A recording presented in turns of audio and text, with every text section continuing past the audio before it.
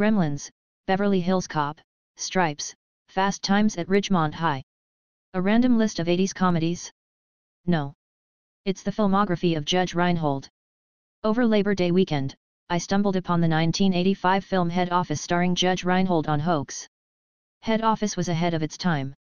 It sanitized corporate culture, described rising globalization, and featured the destruction of a manufacturing town years before Michael Moore's Roger and Me. It had brilliant performances from the supporting cast including Danny DeVito, Rick Moranis, and Jane Seymour.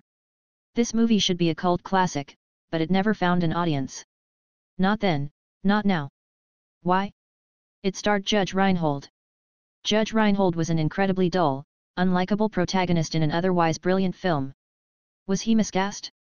After having viewed this movie more than once, I don't think a better performance by a more charismatic actor could have saved this movie. The character was inherently unlikable. Asterisk he's late to his own graduation. Asterisk he admits to having put no effort into his studies or his career. Asterisk when asked about what he stands for by the female lead and future love interest, he responds with meaningless platitudes in an attempt to get a date. Asterisk he routinely gets promoted, simply because he's a US senator's son. Asterisk his character does nothing for the first 60 minutes to advance the plot, other than flirt with a pretty girl. He was the embodiment of an office golden boy archetype that people love to hate, yet he's the protagonist. How can someone be the hero if he does nothing for most of the story? And that's when it clicked.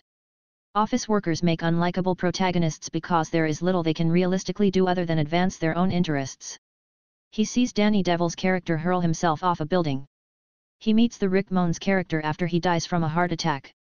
He's in a position to observe the insanity of what is going on around him, but not in a position to do anything about it. At one point, Judge Reinhold's character is put in a public relations department. He's confronted by militant feminists complaining about hair removal cream. They demand it be removed from the market, but go out of their way to demonstrate they are only concerned with leg hair, not armpit hair.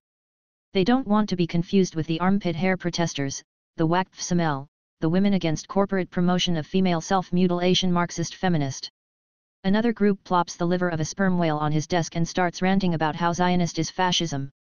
Brilliant writing, biting satire of how consumer advocacy had been co-opted by the radical left, but inaccessible to most audiences. And he does nothing, because there is nothing he can do. At the 60-minute mark, the president of the company rolls some ball bearings down the length of a conference room table. This was his way of selecting an executive for an important task.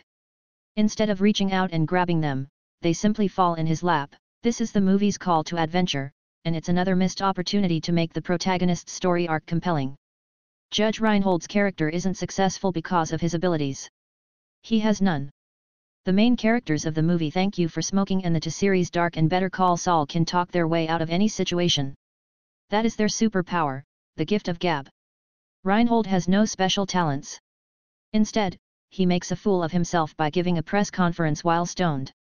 In it, he admits that his company is in business to make money, and that's why they are closing down a plant and moving their jobs to some fictional Central American country. It's seen as refreshing honesty by the media.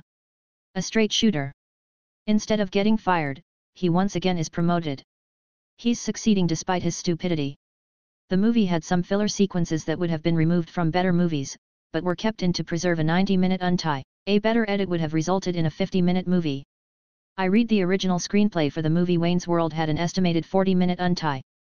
That's why it's able to spend four full minutes showing its characters driving around town in a compact car singing Bohemian Rhapsody.